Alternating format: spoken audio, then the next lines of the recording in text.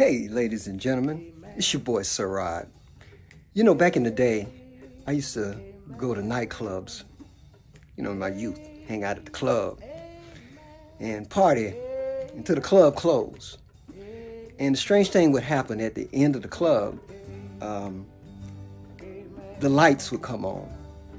And once the lights come on, the people you were dancing with and the people you were looking at around the club, they look a little different. Or maybe even you might look a little different to them as well. Because the light shows more detail, a whole lot more detail.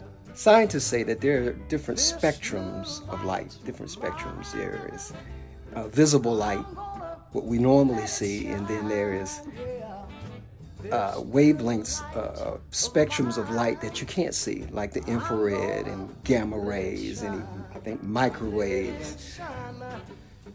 I'm telling you this because each one of us have been given a light.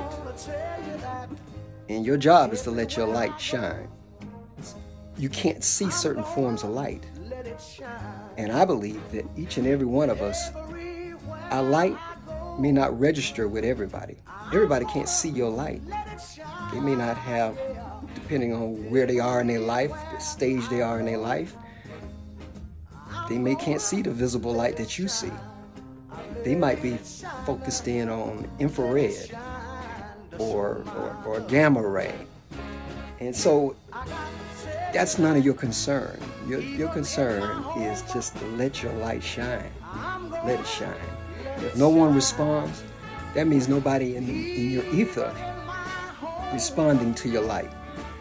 But that doesn't mean somebody out there will see your light and respond. You will inspire the people you're supposed to inspire. So you only have one and only job. Let your light shine.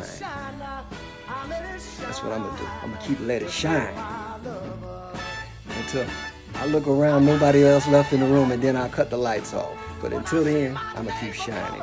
And I suggest you do the same thing. It's your boy Rod.